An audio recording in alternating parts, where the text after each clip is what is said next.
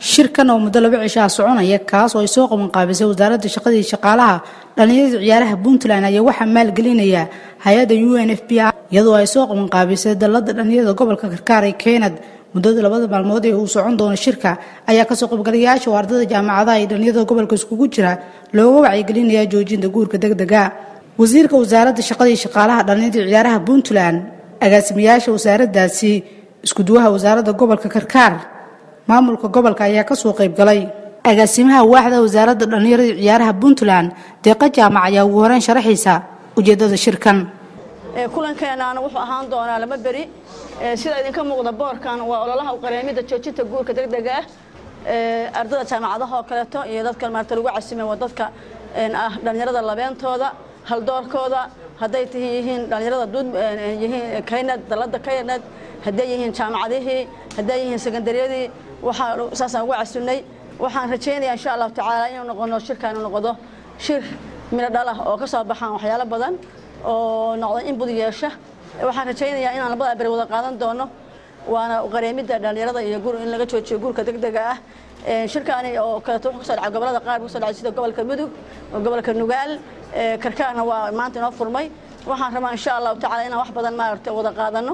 Maxamuud abshir gownax iskuduwaha wasaaradda shaqada iyo shaqaalaha dhallinyarada ciyaaraha gobolka karkaar iyo gudoomiyaha dalada gobolka karkaar ee keenad injineer cabdiqaadir baarma ayaa ka sheekeeyey dhibaatooyinka uu leeyahay guurka degdega.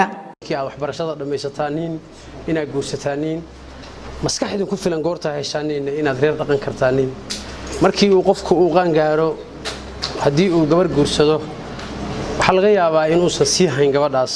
Uu qoyskaasina uu burburo ajanduhu wuxuu socon doonaa laba beri. Maanta oo jimcaha buu inoo furmay wasiirkaa inoo furaya.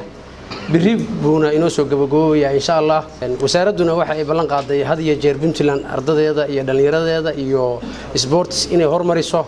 Aad iyo aad baan u mahadsantihiin wacyigelinta kelmadaan ku soo qaadan waxa weeye waxay tahay waxbarashadu inay tahay waxaa keliya qofku ku soo dhisi karo. Intuu ku diyaar garoobaya mas'uuliyadda uu noqonayo ama aabbaha noqdo ama hooyaha noqde waa waqtiga waxbarashada uu wado waxaa labiyo toban fasalka ah iskoolka iyo afar ama shan jaamacadda ah. Intaa markuu qofku wado waa ilaa shan labaatan jir qof ama afar labaatan jir qof marka de'daa gaaray waa qof mas'uul noqon kara. Dhan kasta oo ka dhammaystiran xag maskaxeed xag koritaan jir iyo mas'uuliyadda rabbaaniga ee markaa uu qaadaayo.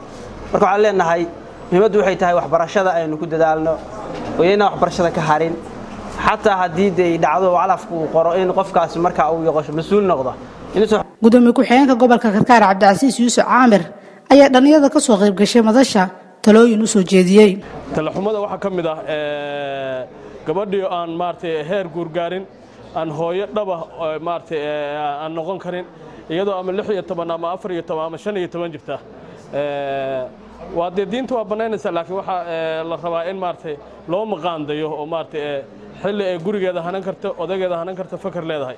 Wiilka ruuxiisa waxaa la rabaa isagoo maaragtay qorsho leh oo qaangaaray oo waxbarashadiisii dhaqaalihiisii shaqadii reerkiisa ku biilan lahaa mas'uuliyaddii intaba isagoo maaragtay qorsho ka leh inuuna ku degdegin ugu dambeyntii waxaa xafladda daha furay wasiirka wasaaradda shaqada iyo shaqaalaha dhallinyarada ciyaaraha puntland dhallinyarada waxaa loo baahan inay wax bartaan. Sida gabdhahoo kale markaad wax barato aad naftaada yani aad u shaqaysan karto dee markaa reerkaaga waad u shaqaysan kartaa laakiin inaan waxba baran oo isagoo yar guursaday marka mas'uuliyad iyo yani aqoon la'aan iyo waxbarasho la'aan iyo dhaqaala la'aan ay isugu darsanto waxaan maysan reerkaa wadi karihin. Taas ay keenayso sidaa laga hadlayay burbur iyo qoyskaasi inuu burburo. Marka waxaan kula talinayaa aan dhallinyarada kula dardaarmayaa guurku maxay tahay waa wax diintu ay ogoshahay weliba wax diintu ogoshahay xilliga marxaladda dhallinyaranimada in la guursado. Laakiin tani ka horeyn mayso ama ma diidayso waxyaabaha diintu ay ogoshahay.